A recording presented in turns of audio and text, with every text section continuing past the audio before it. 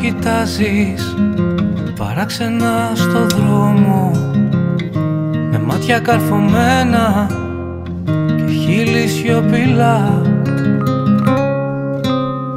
Κι είναι ό,τι πιο όμορφο έχω δει πάνω σε αυτό τον κόσμο τον ουρανό και τη βροχή τα ελεύθερα πουλιά Πώς κοιμάσαι και φεύγεις από το χρόνο και άλλους φτιάχνεις που θα είμαστε μαζί.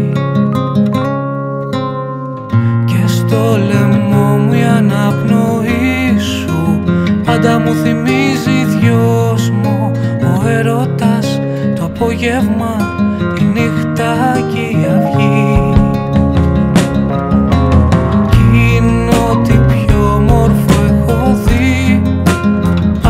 αυτό τον κόσμο, τον ουρανό.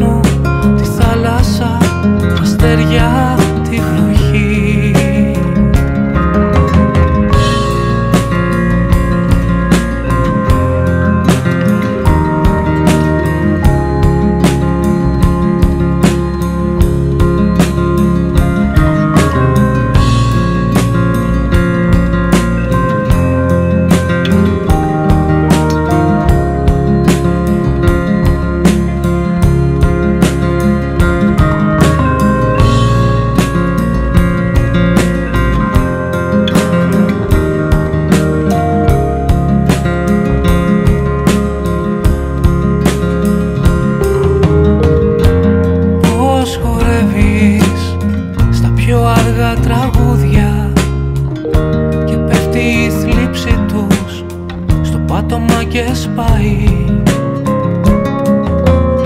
Με μια κίνηση σου ανθίζουν Όχι μόνο τα λουλούδια Και γίνεσαι σιγά σιγά ένα από αυτά κι εσύ.